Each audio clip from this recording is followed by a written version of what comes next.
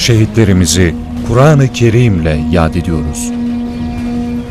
Mukaddesatları için canları pahasına vatanını savunan Çanakkale mücahitlerini rahmetle anıyoruz. Şehadetlerinin 97. yılında inancın zaferini tüm dünyaya gösteren 250 bin Çanakkale şehidimize 250 bin Hatmi Şerif hediye ediyoruz.